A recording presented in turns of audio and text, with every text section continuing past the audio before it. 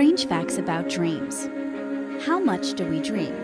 On average, a person has four to six dreams a night, yet forgets 90% of this within the first 10 minutes of waking up. In total, a person will spend around six years of their life dreaming. Brain activity. You would imagine that sleeping was a quiet and peaceful experience, but in reality, our brains are more active during some stages of sleep than when we're awake.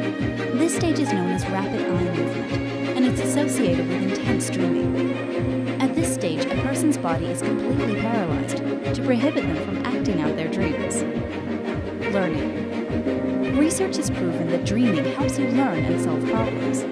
Dreams are the brain's way of processing and understanding new information. Often, people will experience recurring dreams, which relate to things we need to understand about ourselves and the world around us. Blind people who were born with the ability to see but later became blind can see images in their dreams. But people who are born blind don't see anything at all. They still dream, and their dreams are just as intense, but they involve the other senses. On average, men can have as many as five erections per night that can last 20 to 30 minutes each. Lucid dreaming. Many people are now practicing what is called lucid or conscious.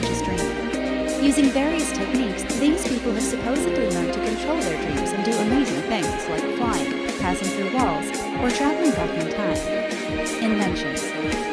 Strangely enough, dreams are responsible for many of the world's greatest inventions, like James Watson, who dreamt up the DNA's double helix spiral form, or Elias Howe with the sewing machine, and Dmitri Mendeleev with the periodic table. Premonition dreams. There are many fascinating cases where people actually dreamt about things which later happened to them. You could accurately say that these people got a glimpse of the future. This mysterious phenomenon has made people rich and has even saved people's lives. Sleep paralysis. Imagine waking up to realize you're paralyzed, unable to scream, and you feel an evil presence in your room. Studies report that less than 8% of people experience sleep paralysis, but for those who do, hallucinations often accompany them. The most commonly reported are the belief that there is an intruder in the room, the incubus, alien abduction, and feelings of flying, falling, and floating, as well as out-of-body experiences.